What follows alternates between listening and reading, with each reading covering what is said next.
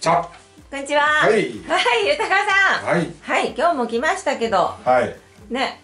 まあでも2連戦ねそうそう。はい。2連戦を振り返るという。そうね、今回はね、うん。あのー、2連戦ということで、まあ5カードね、うん。あの2連戦なんだよ。そうなんですよね。人あの明日も試合あるんだけども、うん。まあちょっと一つのけじめとしてけじめというか、まあ、区切りとして。区切りとしてね、はい。あの2連戦を振り返るということにしました、はい。でいよいよ後半戦がスタート、うん。ねスタートしたね。ね。熱い試合多いな。ねやっぱまあね、気温も暑いですけど、ね。ね、内容も盛り上がりますね。うん。でオールスターの影響は。まあここら辺はさ、エース級があのオールスターに出てる分だけそうそう。やっぱなかなかこうローテーションを組むっていうのがね、あの非常に難しいんだけども、どうなんですか？こう、間で、うん、こう出てる選手は、うん。こうねイレギュラーに出ますけど、うん。まあ、休む選手は休む選手で、はい。このオールスターの休みっていうのはこうぜ影響あったりするもんですえか、ーまあその疲れがねやっぱ取りたい選手はたくさんいたと思うんだけども、なかなかこの短時間じゃね、うん。取れないだろうし、ん。その間にオールスター出た人間っていうのはやっぱ取りようがないしね。まあオールスターってねこうい普段の試合とは違うとはいえ、うやっぱりねまあ、移動してゲームだとかねね。やっぱ練習体を動かしておかないとね怪我につながったりとかするから、うん。まあすごく難しいと思うけどね、なるほど。はい。ということで、え DNA 上皇選手支配下登録に。なんだこれ。ちガンバやちいちゃんのコメントですがあの同郷のね松山のねねうんうん。あの出身の上皇選手が。出身は愛媛の松山ではないですけど、うん愛媛の独立リーグのチームからのムから育成1位で DNA にね、はい育成1位で入ったキャッチャーね、はい打てる星ということで、うんこの度試合が登録選手になったということでねねおめでとうございおめでますとうございます。ね頑張ってくださいねね、期待しています。はいはい。で看板やちいちゃんということで 今日もよろしくよろしくお願いしとます。いうことで、セ・リはい。ーグいきます、はい。ね、はいこちらは結果に2日間にわたっての2試合ですが、はい、えーまず DNA とジャイアンツは、はい。ジャイアンツの2勝1敗、あ、はい。2勝2連勝で勝ち越し。えーヤクルトと阪神は1勝1敗ずつということで、えー広島と中日はひ広島の2連勝、はい。ということになりました。はい。はい。いきますよ、はい。DNA 対巨人。石田と平。うん。ね、えー巨人の方は山崎伊織とメンデスというね、はい。えーそういう投手が投げ合ったんですが、うん。まあ、巨人が連勝したということ、はい。え1試合目4対2巨人、はい。で山崎伊織、ん。まあこれ安定感出てきたね。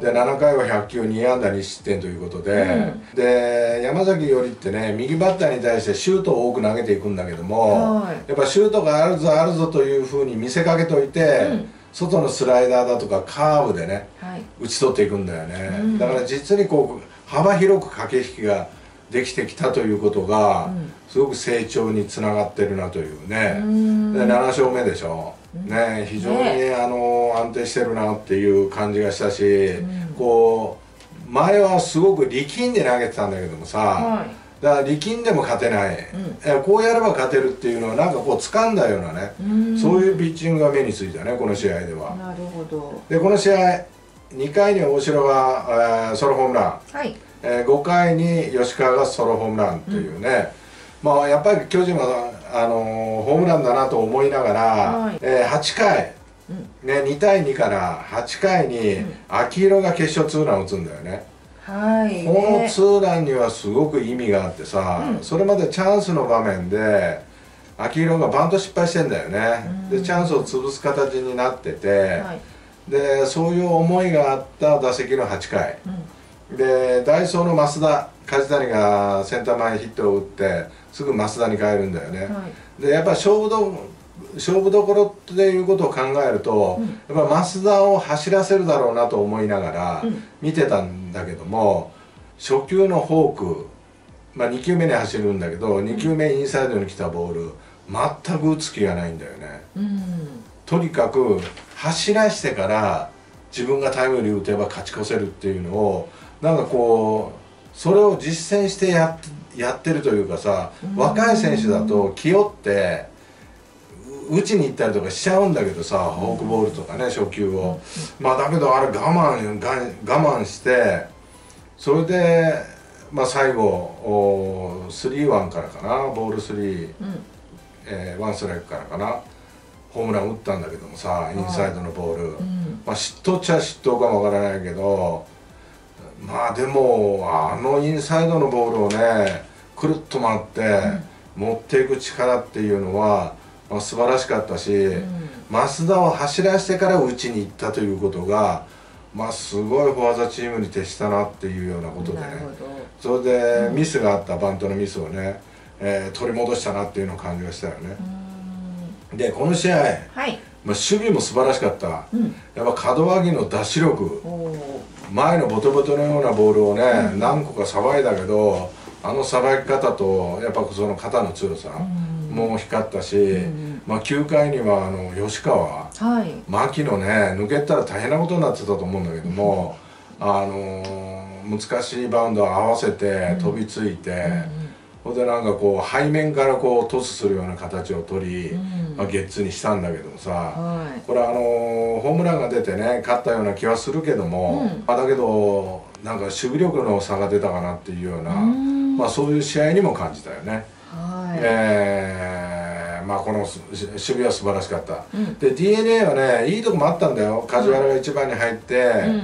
まあ、センター前タイムリー打ったりだとか関根がサードランナーでね、うん。えーボトボトのサードゴロで間一発ホームに入帰ってきたとか、うん。いいんだけどもやっぱ点に結びつかないよねなかなか、うん。まあ、関根とか梶原のは、まあ、これが2点なんだけど4対2で負けたら2点なんだけども、やっぱこうもうちょっと打ってくれないとね、うんちょっと苦しいなっていうようなことを感じました、はい。で2試合目はうん。4対0巨人、ね。うん。でメンデスが7回86球3安打無失点ということで、でこの試合も5回に吉川がツーランで先制。でこれもメンデスがね打った当たりがファーストの前でイレギュラーしてヒットになるんだよね。それを置いて吉川がよし引っ張らなきゃいけないということで引っ張ったのがホームランというね、まあ先頭を許すんだけども先頭バッターメンデスを許して吉川が、えーツーランホームランを打つという。うん。で7回は秋広がソロホームランを打つという。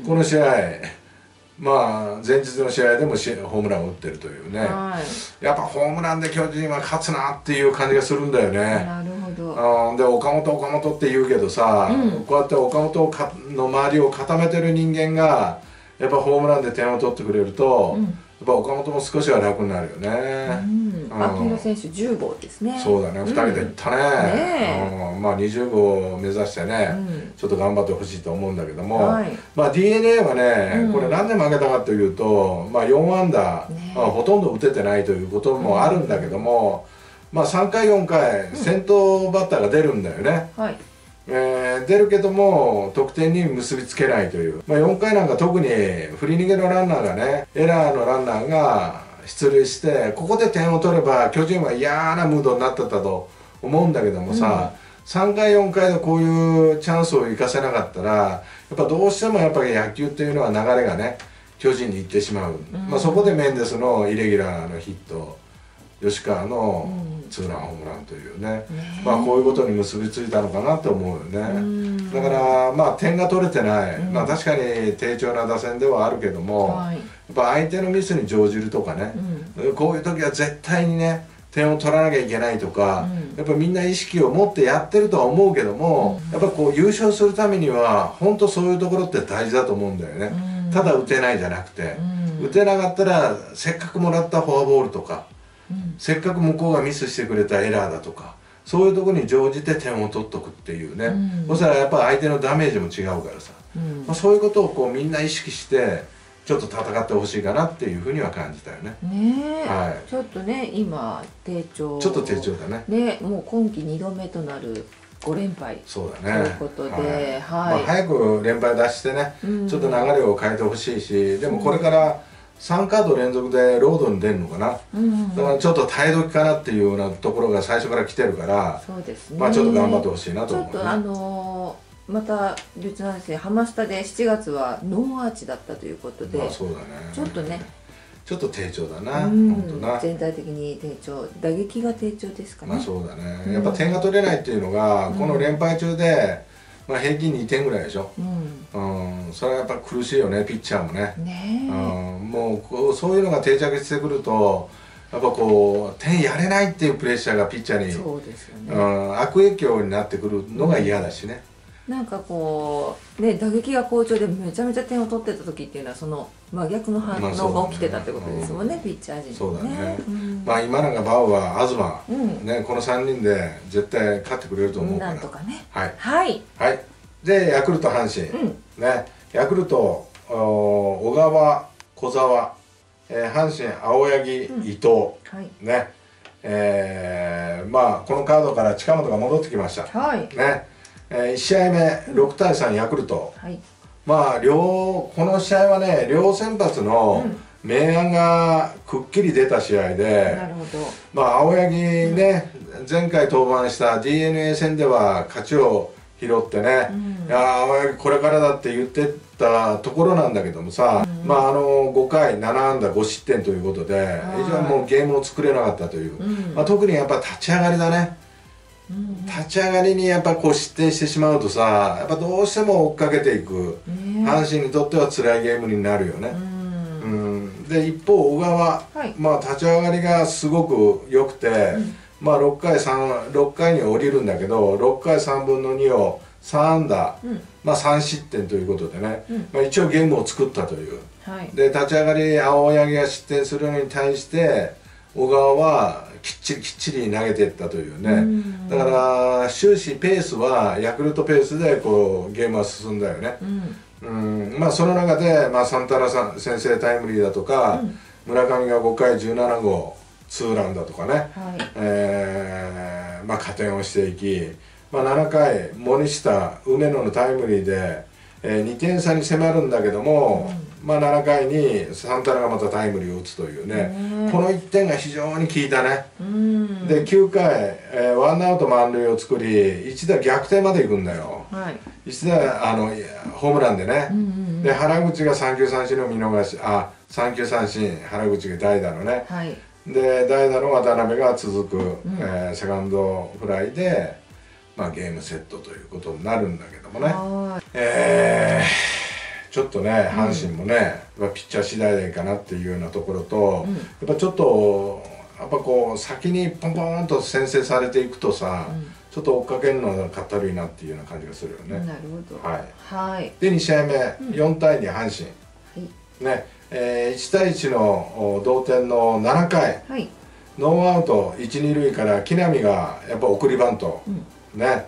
で代打渡辺の一塁ゴロをオスナンがファンブル、その間に1点を取り勝ち越すというね、はい。えー伊藤に変えての代打だったんだけど、やっぱプレッシャーかかったと思うよ、昨日の今日だけにね渡辺も、まあだけど結果的には1点を取れてよかったというね、で8回にはノーアウト12塁から大山が三振したんだよね。はい。でワンアウト一塁塁からこれどうなるかなと思ったら佐藤が救ったね、うん。うん佐藤がえータイムリー二塁打で、まあ、追加点で二三塁から森下の犠牲フライで4点を取るというね、はい。でこの試合でやっぱ岡田監督があー近本と中野にうん。走れる時に走らせたよね、うん。でチャンスをどんどんどんどん広げていったしで木浪がきっちり送りバントを決めてね、うん。えー点を取っていったというね、まあ、きっちりした野球ができるようになったし、ん。やっぱこうやって足を使い出してきたっていうのは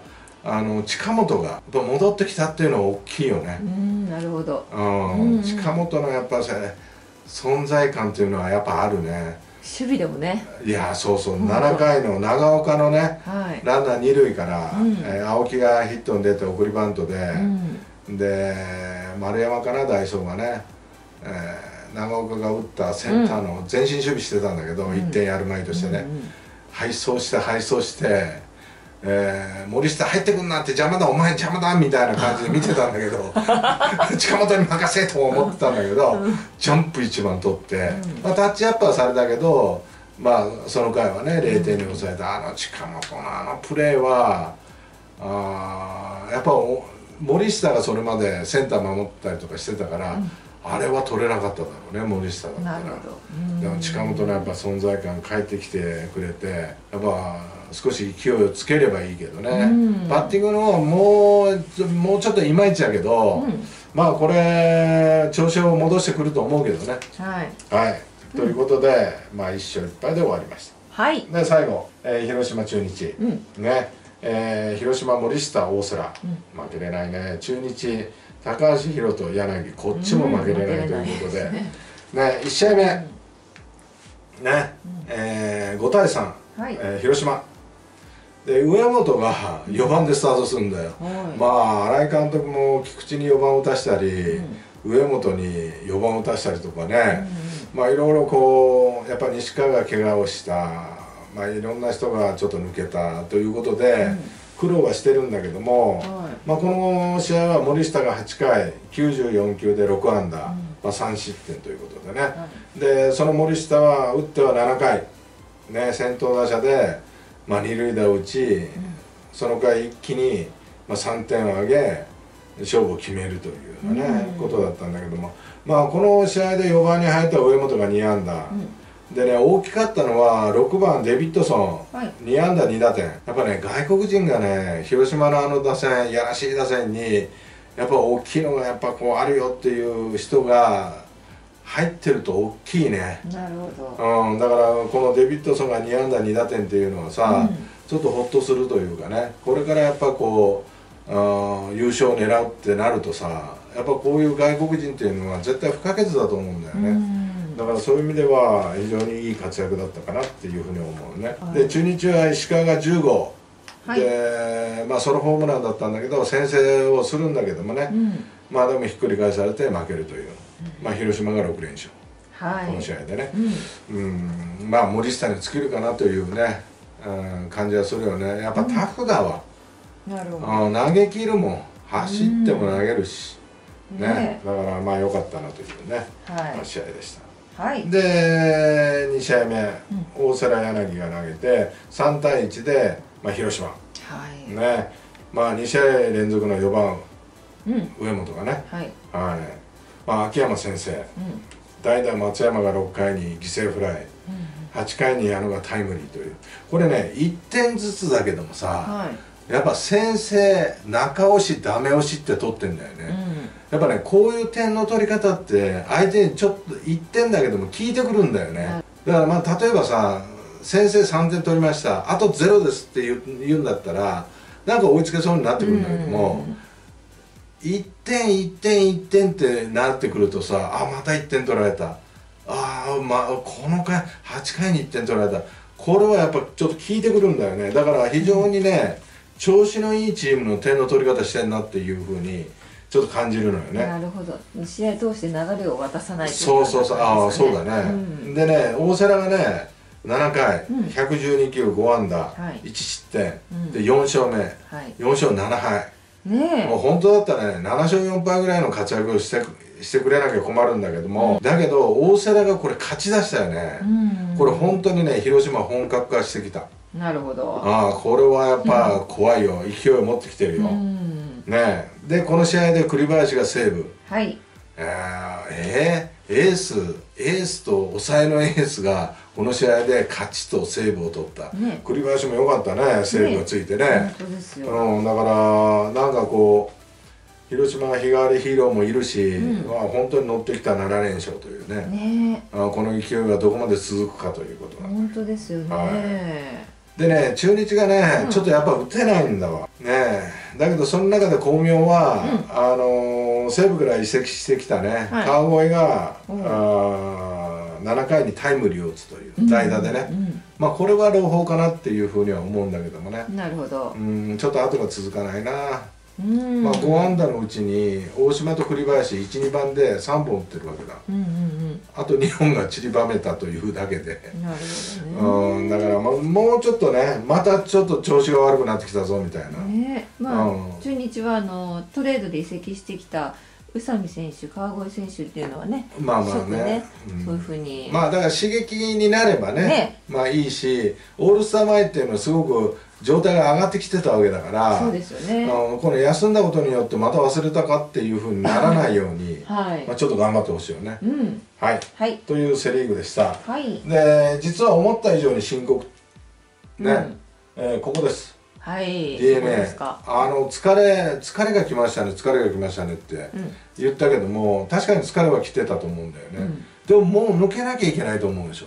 ちょっと長いですかね。長いでしょ。その原因っていうのをちょっと今から説明するけども、やっぱりね優勝争いをあまり経験がない。首位に立ってずーっと走った経験がないチームってやっぱり疲れちゃうんだよ、うん。でね精神的にも肉体的にも疲れてて、うんそれでねあのそれがねまあ例えば同じ疲れでも B クラスの疲れと A クラスの疲れって全然違うんだようね、ん。でね B クラスの疲れっていうのは寝て起きて飯食って、ああまあちょっとゆっくりしようかって言ったらまあ疲れが取れるんだよ、うん。でもねここはね精神的な疲れが来てるからやっぱりみんなの期待に応えなきゃいけないとかそういうことででちぐはぐしてるでしょ、うん。やっぱ勝ったっていうゲームをこう後ろの方のピッチャーがやられたりだとか、ね、ピッチャーが抑えてるのを打てないとかさ、うん。だからちょっとねちょっと深刻。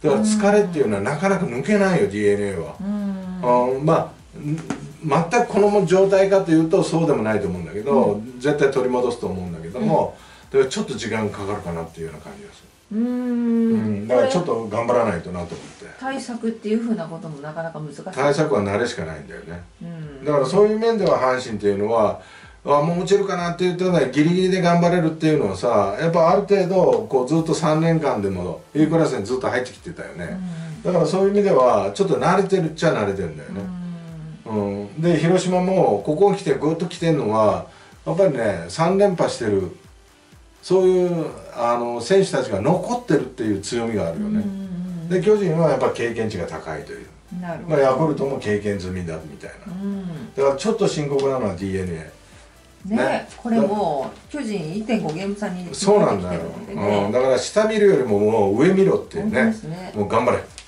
はい。はい、期待してます。はい。はい。ということで。キーワードは一体感は？あそうだ。キーワード、キーワードは一体感、これ一体感っていうのは、ね広島っていうのはやっぱ一体一体感の出し方がうまいし、うん。まあ、ヤクルトはもともと一体感で戦えるチーム、うん。ねで、まあ、中日は一体感というよりもあの一体感をこう作り上げていく段階で,、うん。ね、で今試行錯誤してるよね、うん。あので阪神は強い時の一体感はあるんだけど、膠着状態の時の一体感では感じないんだよ。うんなるほど。でここは全く一体感っていうのはあんまり感じなくてジャイアンツは。このここはやっぱ個の個人のね。え個人のその能力が高いというかさ、やっぱあの年齢的にもキャリアもうん。積んできてる選手が多いからね。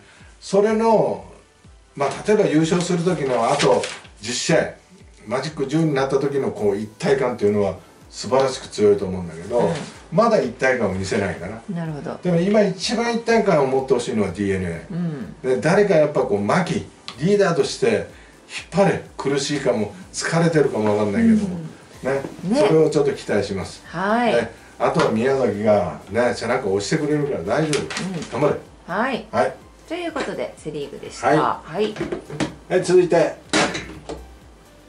ガンガン。はいパ・リーグはこのような結果でした。はい、オリックスと日本ハムはオリックスの2連勝。うん。ロッテとソフトバンクはロッテの2連勝、うん。西武と楽天は1勝1敗ずつということでした。はい。はい、うんということで、はまずはオリックス対日本ハム。い。ね小木田、うん。山崎。幸也で、はい。日本ハムは伊藤ポンセ。ポンセ久しぶりやね。はいそうですね。はい。ということでまあ日本ハム連敗が止まらないということで、えー5対4はい。オリックス。また1点差ですね。はい、うん。で、まあ、この試合2回エラーをきっかけにね4点を取るんだよね、うん。日本ハムが。ね。で移籍後オリックスからタイムリーは伏見は初めてということでね、で松本もタイムリーを打って、えーその裏、はい。セデーノがソロホームラン、うん。野口のツーランで、まあ、1点差まで詰め寄るんだよ、うんうん。ただまあピッチャーがね伊藤だから、はい。なんとか頑張れなんとかするだろう。思ってたら、うん。7回紅林が同点タイムリー。ほんと紅林はいいとこで打つな。いやすごいね、うん。でオリックスはタイムリーと思われる送りバント走塁ミス、あー思われるあの当たりもね、うん。えー杉本だったと思うんだけど、はい。止まっちゃうんだよねサードベースほにで点が取れないとかさ、うん。そうやってね相手もミスしてくれてるんだようね、んまあだけど4対4で9回を迎え、若月が宮西からサヨナラホームランを打つというね、まあホットモットスタジアムで右の方向にうまく若月が打つんだけどもさ、勝てない時ってこんなもんなのかなとか思うような試合だったよね、まあ、4点2回に取った後全く後取れないというのもちょっと問題はあったけども、はい、うんまあ伊藤がね、まあ、投げてるだけに、うん。ちょっとか勝てなかったかなっていうような感じはしたけどもね、まあでも若月のあの見事な、まあ、サヨナラホームラン、はい、ね右へのホームランは見事だったね。ねはい、はい、で2試合目は7対5、うん、えー、オリックスという。で清宮がソロホームランで先制するんだよね、うん、初回にね。この試合も先制はするんですよ、ね、この試合先制するんだよ。で2回中川がすぐ同点ホームランというね、まあ詰まりながらでもあそこねボールが結構飛ぶんだよね。少し高い位置にあるんだよ球場が。なるほど。あだからボールがちょっと飛びやすいっていうこともあるんだよね。まあ、それで中川詰まっても同点ホームランというね、でねね7回から、はい。えー、山岡が投げるんだよ。先発ピッチャーの、ね、中に入入ったんだ入れたんだよね、うんうんうん、で山岡が7回から登板し1イニングを投げて、えー、その裏得点を取って勝ち投手になるんだよ、ね、で2勝目。はい、あれだけ先発でいいピッチングしてても勝てなかったのがさ、ね、中入って1イニング投げて勝ちあの勝ち星を拾うというね。なものですね、うん、でも7回にね、うん、こうエンジンを組むんだよねオリックスがね、はいうん、で一気に、えー、5点を挙げる。なんねこのエンジン組んだ後に得点をするっていうケースってよく見られるんですけど。だからまあその相手の傾向だとかね、まあいろんなことを多分話してると思うし、うん、でこの試合に限っては山岡に勝たしてやろうというね、そういうことも話したのかもわからないよね、うん、で紅林が、まあ、タイムリーを打つ、うん、ね、セデーニョがスリーランホームランを打つみたいなね、だからまあその山岡も先発で勝てなかった、うん、まあフラストレーションがすごく溜まってたと思うんだけども、やっぱり一勝は一勝でさこれでやっぱこう山岡の流れが変わるとねまあ非常にいいなっていうね、ね、そんな感じがするよね。ね。はい、はい、でこの試合9回に、うん、えー、ヒットを重ねて、はい、本田からねノーアウト満塁作るんだよ。はい、でマルティネスが、満塁ホームラン見事だったね。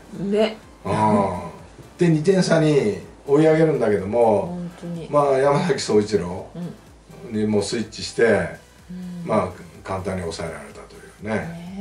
でもこの試合で、はい、オリックスの方はトング杉本は外してんだよね、うん、うん、まあ代打にはトング出てきたけども、はい、これいい仕事すんなと思うのはやっぱ貫禄が出てきたね、うん、フォアボール簡単に取るんだよね、それでランナーを詰めるというさまあそういうこともできるし、はい、でもその車角を抜いても勝てるオリックスっていうのはやっぱ強いのかなっていうふうに思うよね、で日本ハムが12連敗という。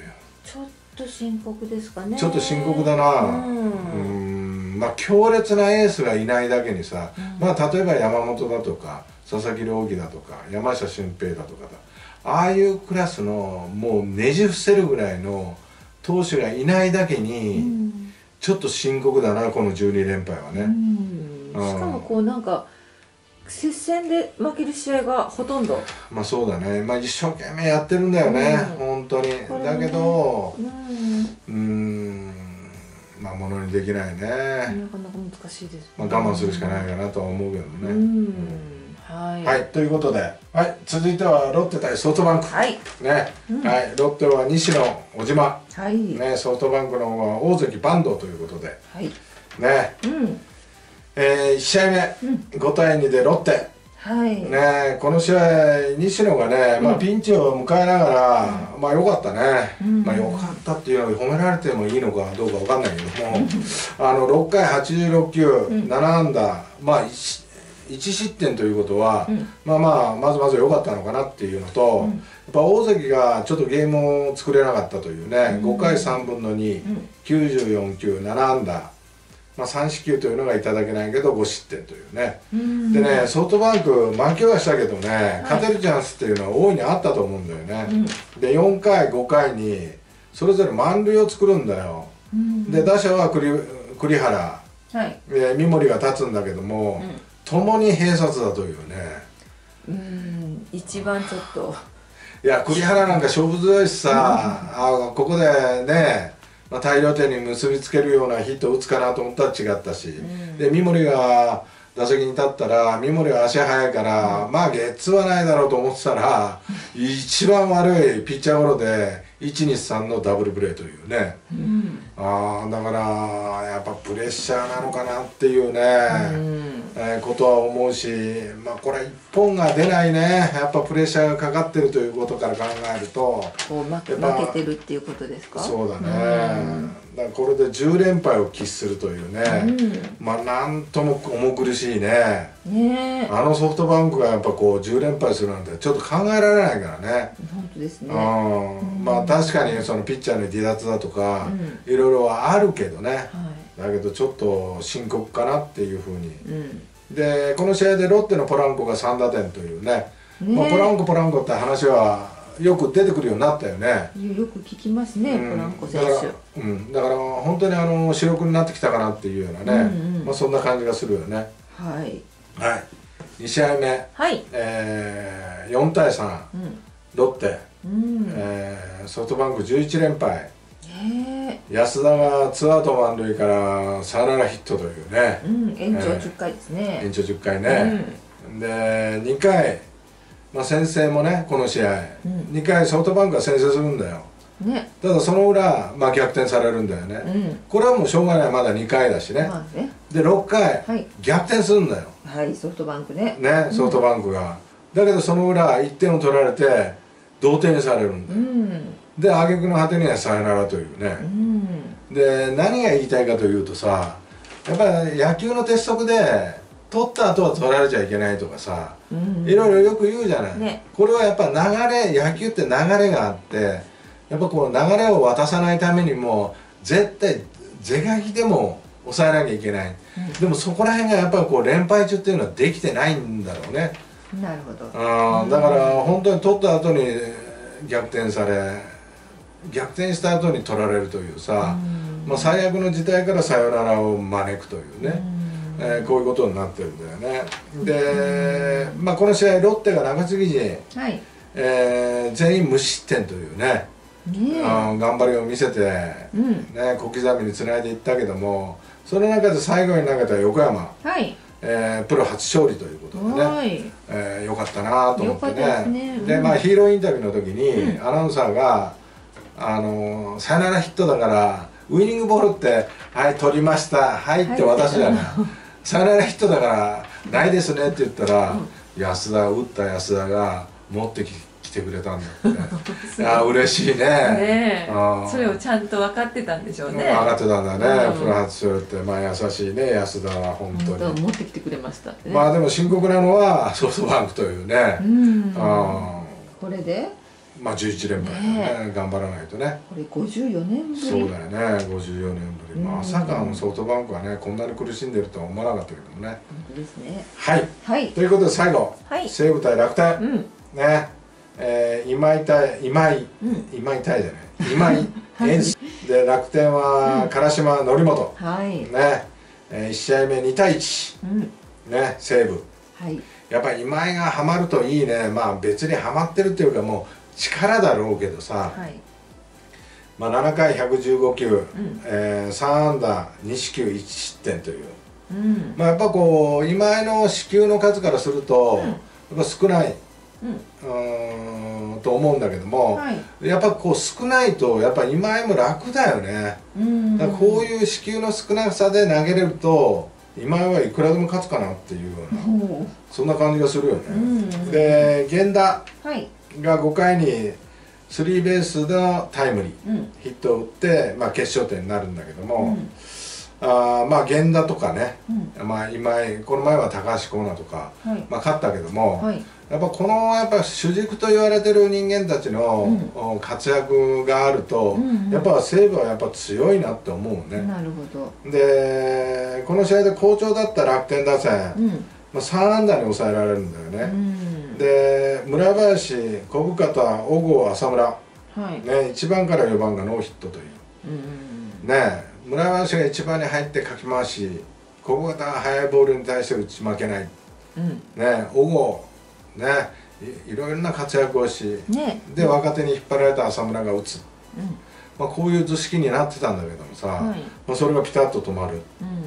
これは止まったということは明日の試合っていうのは非常に重要になってくるなというね、まあ、やっぱ好調だったチームっていうのはさ、まあ、どっかでやっぱこう一旦落ちる傾向にあるからね、ん。だからやっぱこう連敗しないように頑張らないといけないというこうんなるほとはい。どはい。まあ西武は乗ってきてるなっていうような感じがするけどもね。うん。はい。はい。で2試合目、えー4対2、うん。楽天、ね、はい。止めたね、はい。えー止めた主は則本、はい。ね、7回107球、えー4安打うん2失点ということでね、はい。やっぱこう則本も気持ちが入ってるねいつも。いつもこの男が入ってるね、あーでまあこう抑えていくんだけどもさ、はい。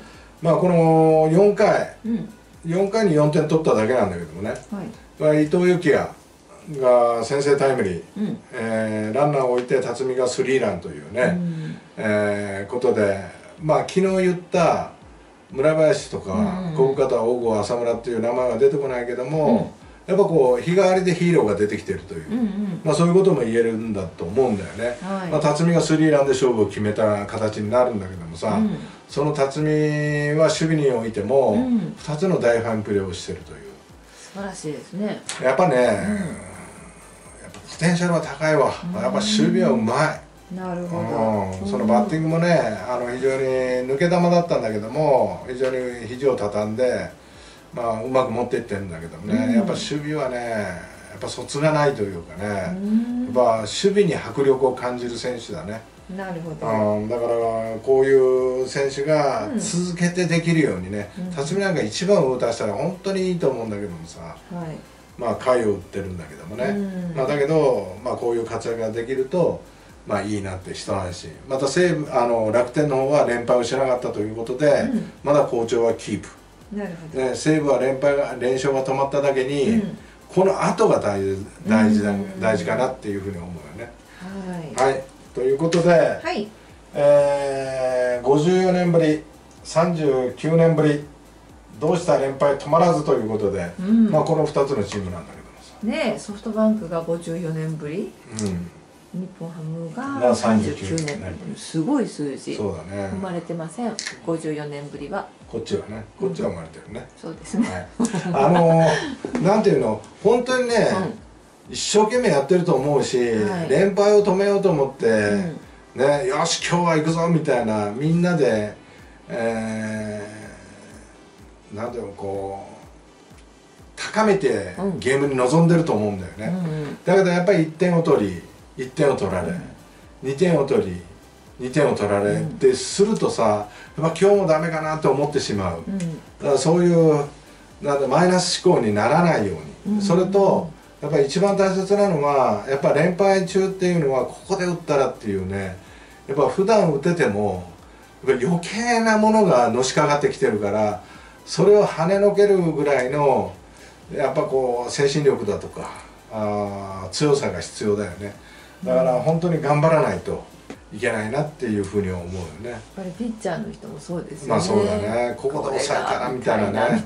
ね。でもね本当に完封するぐらいのつもりでいかないと、うん。なかなか連敗っていうのは止まらないと思うしね、うん。まあ、ちょっと頑張ってほしいね。なはい。で明日このカードはねうん。1試合だけ残ってます。あるんですよね。ね。はい。それは次の、あのーカードの時に、うんえー3連戦を振り返るでね、うん。今回2連戦を振り返るにしました。はい。ね。ね。あのー連敗中の人まああのー連敗中のチーム。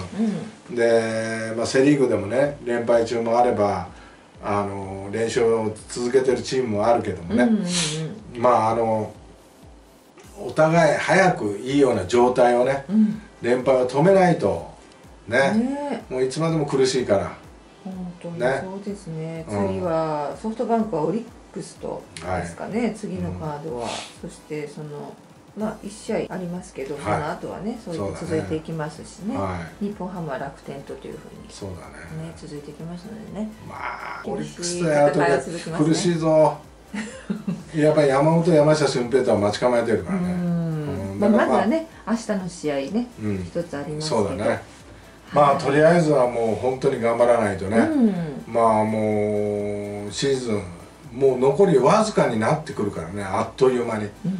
だから踏ん張りどころ。ね。ね。頑張ってください。はい。はい